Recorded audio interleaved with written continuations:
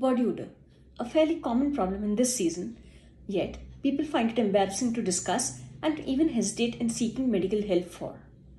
Hi, I'm Dr. Gunjan Gupta from Skin Concepts Noida, and today I'll be talking about a not so glamorous topic body odor.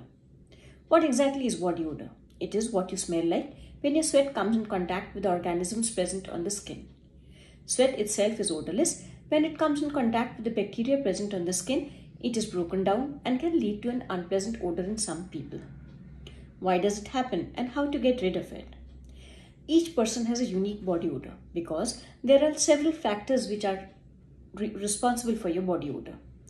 This problem may or may not be associated with increased tendency for sweating. That is, some people might sweat a lot and yet not have a smelly body, while others might not be sweating so much and yet have an unpleasant odor.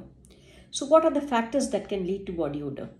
First and foremost, of course, is the lack of personal hygiene, but others are genetics, obesity, uh, it leads to more skin folds which trap bacteria and sweat between them, hot humid weather, stress, anxiety, hormonal changes. Body odor usually starts around puberty when the specialized sweat glands present in the underarms and groin start secreting more sweat uh, and uh, can lead to unpleasant odor.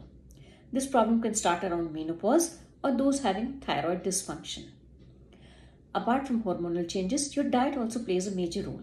Certain foods rich in sulfur, like onion, garlic, mustard oil, etc., uh, cauliflower, cabbage, also can give you more tendency for body odor. Other than that, uncommonly, certain medical conditions like diabetes, liver and kidney disorders, and even your medication could be responsible for your body odor. Next up, how to get rid of it.